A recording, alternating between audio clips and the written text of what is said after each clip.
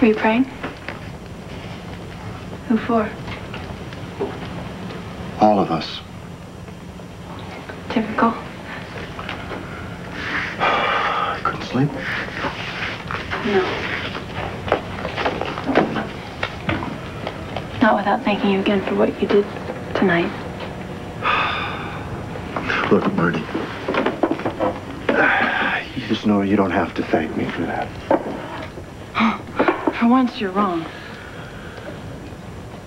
There's no way I could have gotten Kyle to tell the truth about me being with him that night. I figured it would take a miracle to get him to even say anything. And it did. And that miracle was you. Uh, well, I pitched in to help. That's what I did. It's more than a simple favor. Andrew, you saved my life. You're trying to make a grown man blush here? Is that what you're trying to do? I never go to church, but tonight my prayers were answered.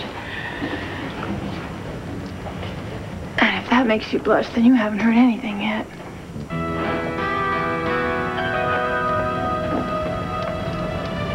Andrew, you are the kindest, gentlest, most generous, and honest man I have ever met in my whole life. Thank you, Marty. It's true. I'm lucky to know you. To just be around you. Andrew.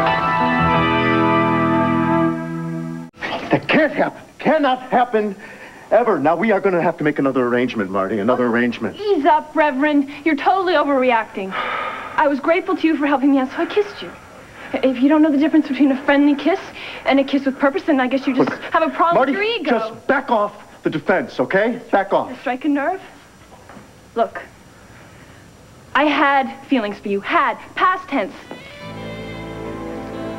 You're with Cassie, and, and I don't do married men. So why don't you just calm down about what just happened? I mean, come on. What do you say? You wouldn't really throw me out in the snow, would you? Look, Marty.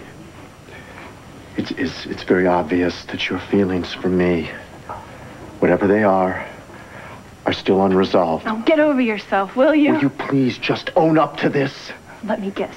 This is the part where you tell me you love Cassie so much and that you can't do anything to jeopardize your marriage. So you're going to have to tell her that I still love you and step back while she Wait. tears my face off. Cassie would never react that way. You know that. Oh, right, I forgot. She's a saint. Just try, Marty. Try for one moment. Please try to see this from my point of view.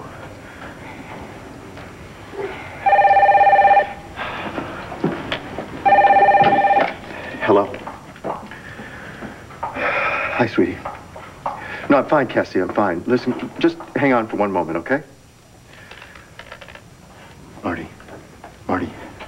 I want to talk to Cassie alone, okay? Marty.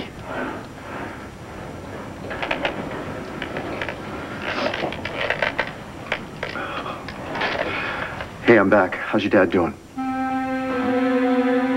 No, hey, look, no, that's not so bad, you know. I mean, all, all post-op cardiac patients, they end up in ICU for a while. I mean, the point is that he's uh, getting his strength back. He's stabilizing. That's good news, right? Uh-huh. So, um...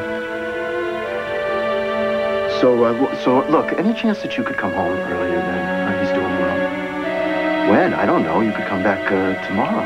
Tonight. How about yesterday? That'd be good. No, no. Hey, there's no problem. No, I miss you. I love you too. I love you. With all my soul.